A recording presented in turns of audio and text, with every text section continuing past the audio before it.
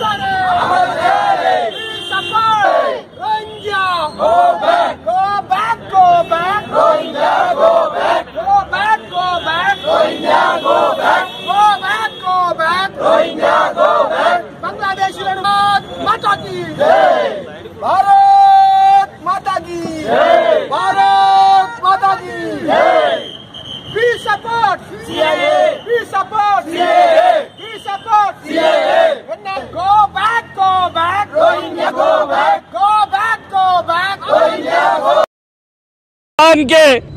تہذیب پہ اور مسلمانوں کے وفاداری پہ اور ہندو اور مسلمان کو الگ کرنے کی یہ بل کو واپس لینے کے لیے ایڈوکیٹ بھائیوں نے آج Telangana high court media point پہ یا ایک پروٹیسٹ کا پروگرام منعقد کیا گیا۔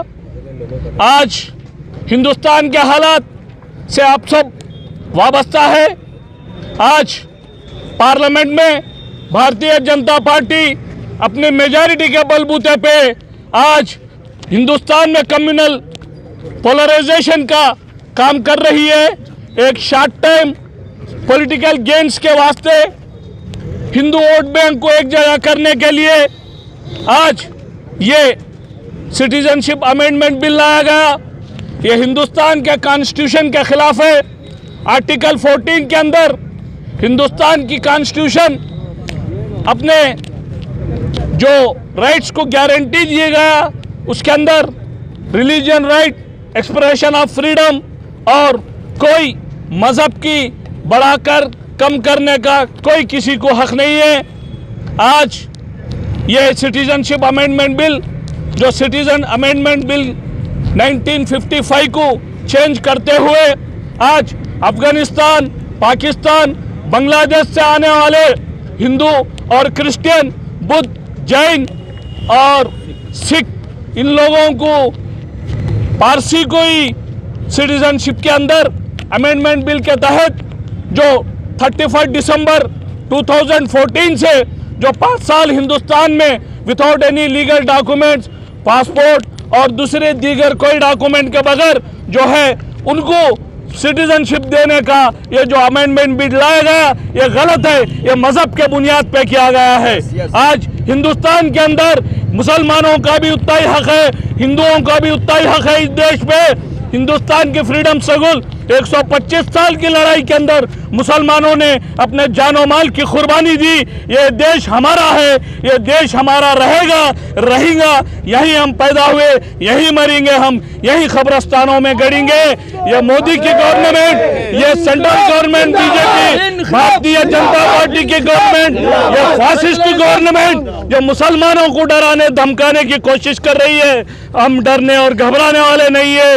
ہم یہ بل کے خلاف یہ فاسسٹ گورنمنٹ کے خلاف جب تک زندہ ہو لڑیں گے، آج مسلمانوں کو پچیس کروڑ مسلمان ہندوستان میں آج ہے اور رہیں گے۔ ان کی تعداد بھی اور بڑھیں گی۔ ہم ایجوکیشنلی، اکنامیکلی، پولیٹیکلی ہم آگے بڑھنا چاہتے ہیں۔ یہ فاسسٹ گورنمنٹ آج ہندو اور مسلمان کی مذہب کے نام پہ پولرائزیشن کر کے جو سینٹرل گورنمنٹ کے اندر، جو پارلیمنٹ کے اندر جو بل آیا گا، راجیہ سبھا میں جو بل آیا گا اور بل پاس کیا گیا، آج ایسٹرن سٹیٹس میں لے کے، آج دلی جامعہ ملیا یونیورسٹی سے لے کے آج ہندوستان کے مسلمان نوجوان، پورے سٹوڈنٹس پورے پولیٹیکل آرگنیشنز جماعت اسلامی، مجلس اتحاد المسلمین اسام میں بدر الدین اجمل صاحب اور پارلیمنٹ میں ہمارے حیدرآباد کے پارلیمنٹرین مجلس اتحاد المسلمین کے صدر بیرسٹر اسد الدین اویسی صاحب، یہ بل کو پھاڑ کے جو ساؤتھ افریقہ میں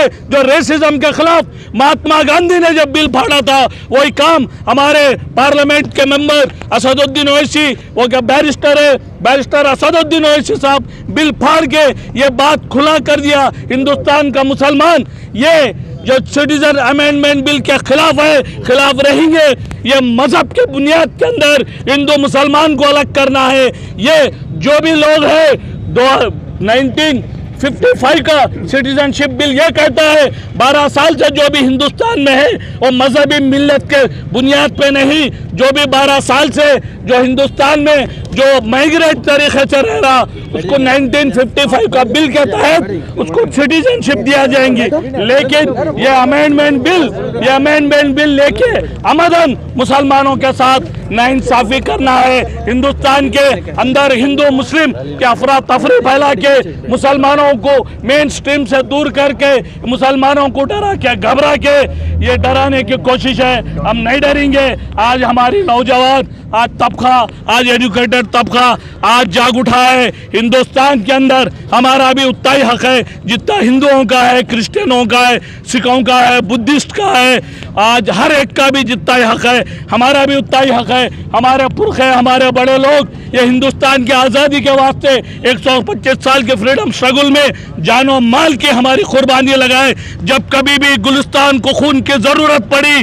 سب سے پہلے ہمارے ہی گردنیں کٹی، پھر بھی اس چمن کے رکھوالے کہتے ہیں، یہ چمن ہمارا ہمارا نہیں، ان کا ہے، ہمارا نہیں۔ یہ سراسر نائن ناانصافی ہے، یہ بھارتی جنتا پارٹی موڈی اور شاہ، ان کے کیبنٹ مل کے جو سٹیزن شپ بل کو امینڈ کیا، یہ سراسر غلط ہے۔ اس کو کنڈیم کر رہے آج city civil court criminal court Ranga Reddy court Secunderabad court, high court سے جتنے بھی مسلم ایڈوکیٹ نوجوانوں نے یہ پروگرام کا منعقد کیا سب ایڈوکیٹ تھے اس کے اندر جس کے اندر لوگ یہ بل کے خلاف ہے جس کے اندر ہندوستان کے اندر کئی بدھی جیوی کئی لیفٹسٹ کئی لوگ یہ سوچ رہے ہیں یہ غلط بل ہے۔ ان لوگوں نے بھی ہندوستان میں کشمیر سے لے کے کنیا کماری تک یہ بل کی مخالفت کر رہے ہیں۔ لہٰذا آج ہم سب لوگ ایک جگہ جمع ہو کر یہ بل کے خلاف پروٹیسٹ کر رہے ہیں۔